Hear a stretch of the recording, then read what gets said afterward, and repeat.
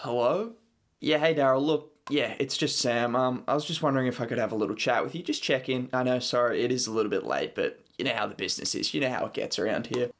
Oh, yeah. Hey Sam, wasn't wasn't exactly expecting this. Yeah, how are the kids? How are the kids? Oh, the kids? Yeah, the kids are fine. Actually, Laura. Oh, yeah, that's fantastic. I'm sure you're so proud of it. Oh, um, yeah, fantastic stuff. Oh, say congrats to her. What was it, Lara? Laura? Yeah, okay, that's fine. Whatever. Either one works. Um, as I was saying, yeah, I was thinking more of a basketball related kind of thing. As you know, we're in a rebuild right now, as everyone knows. And we've got a few chances to, you know, do some favors around the league to a couple of general managers, and I thought I'd do you a solid because you've done me a solid before. Chris Paul, I mean, we don't want to mention it, but yeah, you've done me a solid there, and I thought look, we can do you a solid and then maybe you can return the favor at a later date. How does that sound? Yeah, what kind of what kind of favor were you thinking? Um, I'd be happy to give you Shake at the right price. Um, he's a young guy. He might fit your timeline. He could be nice coming off the bench. sorry, did I say something that was funny? Oh no, no, sorry. That no, that was that wasn't you. Um, I was watching something in the background. Uh, classic, classic Kramer. You know what he gets up to around here. Um, no, no, no. I wasn't thinking shake. I was thinking more of a, a starting level player. I mean, if you could even call him that. Am I right? After his last playoff performance, yeah, like a Ben Simmons kind of, kind of mold. Oh, Ben. Yeah, yeah. Okay, you've called up about Ben. Yeah. Look, the way I see it with Ben is, as I've said, as we all know, you're looking to win now, and I thought I can take Ben off your, your hands. He's very hefty contract. He's not someone who's really fitting what you're trying to do. And as you would know, Kemba from Boston brought him in. Kemba? No, I, I don't think he's the guy for us, Sam. I appreciate the gesture, but I just don't think Kemba's the guy for us. Yeah, I know. He's got a bad rap, but I've been talking to my specialist, the same specialist that, you know, looked after Chris Paul. He said Kemba's going to be healthy. He's the best guy we have. He's from Germany. He's from overseas. He doesn't even speak an ounce of English. But trust me, when it comes to knees, when it comes to anything lower body related, he's your guy. And we've got assurance from here. You can talk to him. You can get your people to talk to him. Kemba will be fine. Second half of the season, he averaged 20 and 5. It's overblown. Kemba is a guy, he's going to be back to his all-star self. And that's the exact kind of shot creator you want on the perimeter. So just just wondering if I'd throw that out there. I know Ben is someone who's a little bit maligned around here, and I was just thinking maybe a little Kemba for Ben swap, and then I'm sure we could add some picks in or someone of your choosing just to sweeten up the deal again. As I said, we're looking to do you a favor here. That's that's what I'm all about. I'm all about doing a solid and returning a solid when needed. You know how it goes. Well, yeah, I mean, if you if you do think he's the best guy, if you think he's going to be able to get Kemba back to full health, I'll be happy to talk to him. What's his name again? Hans Gudentag. Yeah, look, um, I'll get my people into Hans. If Kemba's as healthy as you say he is, then, I mean, we'll give it a shot, but no promises. Obviously, I'll have to talk to my people. I'll have to arrange a few things, but I appreciate you calling, Sam. Look, I'll, I'll have to I'll have to catch you later. I'm probably going to go back to bed. Oh, yeah, of course. I wasn't expecting you to agree over the phone or anything. No. Um, yeah, okay, that's all good. That's all good. I'll talk to you at a later date. Um, say hello to the kids. What was it, Lara? You mean Laura? Uh, yeah, same thing. Okay, have a good day. See you, Daryl. Bye. Yeah, okay, bye. Kemba. I don't know how many times I can spell it out for you. Tyler Herro does not interest us. But before you were looking to take him in a James deal. Yeah, that was before he had an Instagram model girlfriend, had a baby with her, lost all motivation, and couldn't put up double digits in a playoff series. So, a little bit of different circumstances. I don't know what kind of opinion you thought we had of Tyler before. It's not the same. Sorry, I'm going to have to let you go. I'm not really here to talk about Tyler Herro right now at 3 a.m. Okay. All right. Catch you later, Andy. This happens every year. No, not someone failing to make a skit and making themselves look silly. I'm talking about general managers making bad decisions. Now, one way of stopping it is subscribing to. No, I'm not even going to say that is bad. One way of stopping it is well, there isn't really one way of us stopping it. We don't really have a choice. But sorry, Daryl Morey, for making him look stupid. He is a decent general manager. He has done a good job.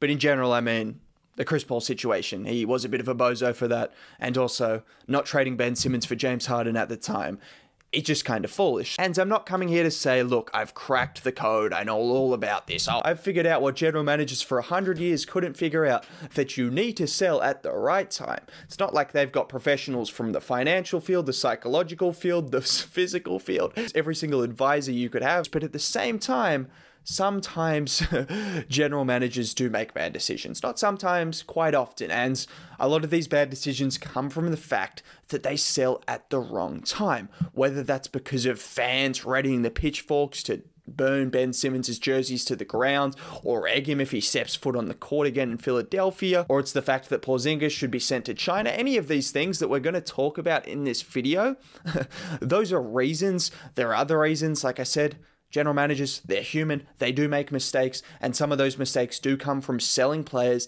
at the wrong time, trading these guys away when their value is low. And I just think now is the perfect time to talk about some of these players because, I mean, we've seen all the memes. If you're on Twitter, if you're on Instagram, if you're on any single app, oh, these guys are going to look great in China and Shanghai. I'm not even going to waste any time. Ben Simmons is the guy that we need to talk about first. I will talk about other guys and I'll talk about the flip side in terms of guys who I think you could probably sell at a good value now because we can't just look at it and in hindsight be like, oh yeah, well, he should have traded Ben Simmons. He's an idiot for doing that. But, anyways, let's just talk about Ben Simmons now. I watched every single game of the 76ers Hawk series and I made fun of Simmons a lot because, I mean, there was a lot of reason to make fun of him because he made a lot of mistakes. But in general, through the first four games of this series, he was playing like a star level player 10, 7, and 8. I know, those numbers don't exactly sound breathtaking. Simmons' numbers are never going to be breathtaking, I don't think. Still, he was playing like a star offensively. He was getting out in transition. He was attacking the rim, even in the half court setting. When he had a matchup like a Gallinari who was too slow, or a Bogdanovich or a Trae Young who were too small, he was getting to the rim. He was attacking. You add into the fact that although Trae Young was putting up numbers, Trae Young can't be stopped he wasn't exactly attacking Ben Simmons. He was trying to get screens, he was trying to get miscommunications, he was trying to get Ben Simmons on his hip. All of these things, which are perfectly legal, absolutely nothing wrong with that. That's what you do every single time you face a good defender. But at the same time, Ben Simmons, when guarding Trae Young, did a great job. Ben Simmons, when switching out and rotating onto different guys, did a great job. Guys weren't exactly attacking him. His defense was fantastic. He is a fantastic defender. After that, yeah, last three games were. they were bad. they were, whoa, they were bad. They were a mess. They were a mess. Wasn't attacking in transition. He was scared. Let's be let's be honest. Let's just get straight to the point. He was a scared man. He didn't want to go to the free throw line. He was shooting 30% from there. He didn't want to get hacked in transition because whenever he went in transition, he was getting hacked. Whenever he was in the half court, he was getting hacked. And that led to obviously the missed dunk, which is kind of the thing that culminated everything and everyone realized, oh, this is Ben Simmons is a rabble, he's a shell of himself. But there were other opportunities, there were other moments before where you saw and you're like, Ben's just not all there. At that time, he was he was in a different world. And that's the mental side of things. That happens. People need to understand, yeah, these guys are six foot ten and getting paid $35 million a year, but they still do have mental demons. And if you're shooting 30% from the line and you're going to get hacked in a high intensity playoff game, that's going to play on your mind. And that led to a pretty bad series. I wouldn't say it was a terrible series. I don't actually blame him for that series. There are a lot of other factors that went into Philly losing. Atlanta also played fantastically. And as I've said, and as everyone sees, Atlanta are the real deal.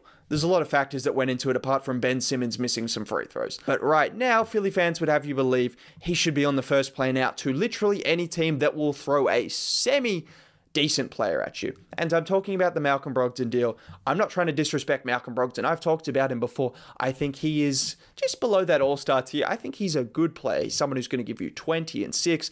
He can play make, he can create his own shots. He's had his injury issues though.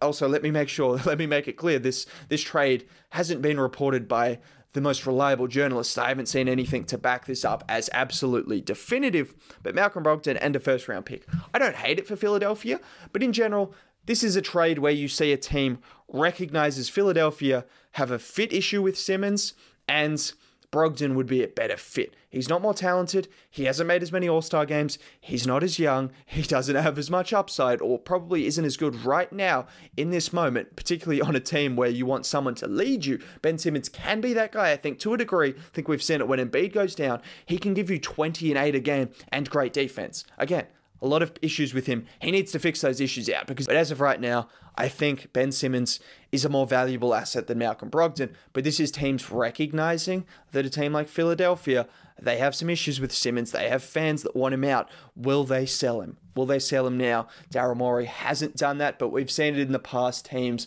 consistently do it. Teams have consistently done it, and maybe they'll do it with Simmons. We don't know. We don't even know if that was a real deal, but we know right now that his value is lower than it was halfway through last year. Three months ago, his value was really good. Now it is really bad. That's kind of my assessment. And we'll talk about a couple of other guys, a couple of other guys in a little bit. But just before, as I said, we want to talk about a couple of guys that I think are of good value right now. Who would be good to sell right now? Just for an example, I look at a Domantas Sabonis. I talked about him in an Indiana video just before, but he's someone who, like similar to Simmons in Philadelphia, he's just not a great fit. Alongside Miles Turner, it just hasn't worked. I think he's a guy that you could trade because he's a good player.